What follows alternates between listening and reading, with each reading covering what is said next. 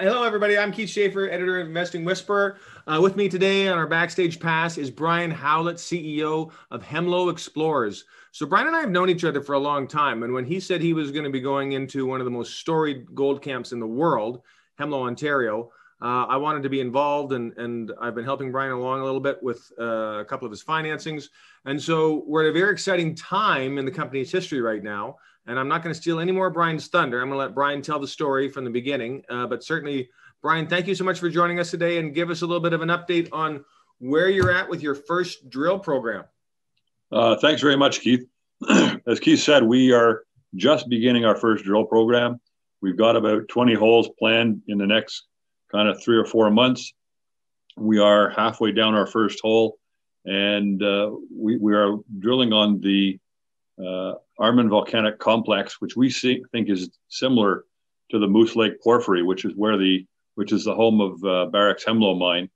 Uh, in that location, there have been three mines over the history of the um, the project, and uh, they've produced about 22 million ounces since that since they began in 1985. Um, Barrick has certainly begun a renewed interest in the whole camp um, with the acquisition of a couple of uh, options in the area, and uh, they are drilling at depth up to uh, up to 2,000 meters deep. I understand. I don't have any proof of that, but that's what I'm hearing. Um, so we have about, uh, as I said, we're going to drill along the Armin Volcanic Complex. We are going to uh, go much deeper than they have before. Uh, we um, we have about 150 holes drilled into this. We don't have all of the information, but we have most of it. Uh, and they've never gone below 200 meters in the past. And we're going anywhere from 500 all the way down to 650 meters because that's where the real action happens in this camp. And we believe we have the similar rocks to what Barrick has in their deposit, you know, up on surface. So we believe the same volcanic event created our ground as did created Barrick's ground. Um, we have um, uh, you know, the, these these folded dikes that that occur, you know, deep underground and very very similar to what we see in the Barrick ground. Uh, the whole area is exciting, um, and you know, I'll go back. Uh, I joined this company earlier this year, and really a rebirth of the company. We used to be called Canadian Ore Bodies, and now we've been rebranded Hemlo Explorers to really give homage to the area we're in. And you know, it's, it's called the Hemlo Camp for a reason. Um, in, in a very short period, we've come a long way from really having, uh, when I joined a CFO, and uh, we now have a full geologic team, uh, two of which were ex-Barrick employees at the at the Hemlo mine, uh, one for 18 years and knows the rocks very, very, very well. Um, and they're led by a gentleman named Dan McCormick, who has been in the Canadian gold scene for about 40 years. Uh, he, he's worked at places like uh, uh, Queenston, Yamana, Agnico Eagle, up in a little bit up in Red Lake, and really, really is um, leading a great team. And uh, so we're excited to have him and the rest of the team working up working for us. Um, uh, and that's the fo- that's the focus for now. We have two other properties we're working on in the area. Uh, the second one we acquired from O3 Mining uh, back in May. It's called Hemlo West. It, has got about eight kilometers of shear zone, and it's about 15 kilometers due west of the Hemlo mine. Uh, you know, we believe on the same structure. We're still working on kind of the background data and understanding everything we have there, uh, and we hope to be drilling that. You know, probably this summer sometime. Uh, it's road accessible. Uh, we have lots of infrastructure in the area um, we, we, you know, all the services that service the Barrick mine are available to us as well, all of kind of the third party people. And so it Brian, is a, tell me a little bit about your, your, your, your shareholders, because you've got uh, a, a tight share structure uh, and B, you've got two very large, well-funded, deep-pocketed shareholders. You want to tell us a little bit about that? Absolutely. We've got about 27 million shares out right now, and we've got about two and a half million warrants. Uh, our, our, primary shareholders is a group called Northfield Capital, uh, led by Robert Cudney, who is the um, one of the kingpins of Toronto uh, junior mining finance. He's had a number of successful deals. and he's really excited. And he, him and Northfield own about 22% of the company. The the other big shareholder is O3 Mining, and for those that don't know, they are a subsidiary of, of the Osisco Group and Sean Roosen, and they own about 14%. And both of those are very dedicated long-term shareholders.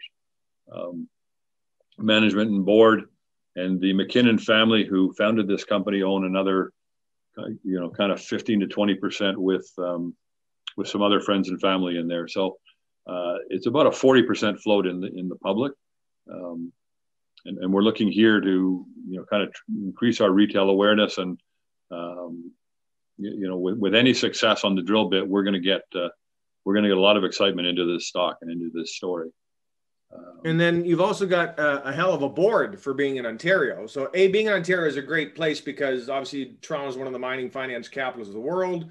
Uh, every all the investment bankers and geologists can come out and uh, see the property. But tell us a little bit about you. You, you got a pretty high powered board. You want to tell everyone about that? Yeah, for for a company with uh, a twenty million dollar market cap, we do have a hell of a board. Uh, we we are we, we have uh, the former Premier of the province of Ontario, Ernie Eves, and we also have Chris Hodgson, who is the Minister of former Minister of Mines um, in Ontario as well. Uh, add to that, uh, and know you know probably the, the, the, wisest man in mining in, in Canada is John Harvey. Uh, John was at the ground floor of Noranda when the Hemlo mine was discovered and developed. So he, he was actually the former past president of Hemlo Mines. Uh, which is one of the companies that got swallowed up in a number of mergers and acquisitions in the area that created, you know, the current structure today. So, you know, we have a, a board that's second to none. Okay. And so now let, let's assume then, so you, in terms of your news flow, you're doing 20 holes right now. Uh, I, I'm assuming that you're going to wait to assay labs are all backed up in terms of our first news flow out of this drill program. Uh, first five or six holes. I'm guessing you're you're going to batch a few of these holes together. And uh, how long do you think that'll take to get our, our first set of news out?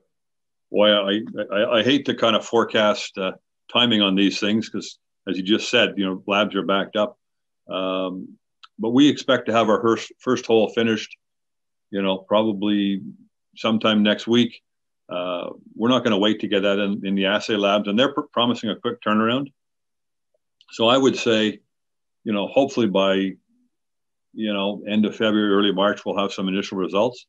Um, I said we're doing 20 holes, a minimum of 10,000 meters. But as far as I'm concerned, that's just the beginning. We've got a lot of work to do here, um, and we've got a lot of excitement coming. So uh, I would advise anybody who owns this stock or who's thinking of owning the stock that they should be uh, looking at it here. It, it, is very tight at the present time, and it does it doesn't trade a ton, but uh, you know, patient investors can certainly build a position here if they're uh, prepared to uh, to stick around on the bid. And and, this uh, structure here, uh, in geological structure that you that you're drilling, Uh, is this going to be uh, fairly narrow, high grade veins? Is it is it a broadly disseminated target? Uh, what what kind of grade was Hemlo, and what kind of grade are you you're, you're looking for? Very similar types of things, or well, well, Hemlo's got a couple of, of features to it. It has a big open pit. Uh, that's recently been closed, and that was fairly low grade. Uh, the underground stuff runs anywhere from six to 10 grams, um, and that's the kind of stuff we're looking for. But it can be fairly narrow veined, yes. And so, uh, do you see the possibility of? But, but from what you've told me here, you're, you're, you're drilling deep, so you don't see the possibility of an open pit asset there. You're you're you're after uh, the deeper stuff that that Hemlo saw. We're after the the deeper, richer stuff. Absolutely. Yeah. Okay. And so we just have 30 seconds left here, Brian. Is there something here that we haven't chatted about that you think is important? We've talked about logistics, we've talked about management, we've talked about uh, uh, the geology a little bit, share structure, the board. Um, social license up there is, is Ontario is a pretty good place. Uh, social license is very good. We have two uh, First Nations in the area, the Pic River Band and the Pic Mobert Band.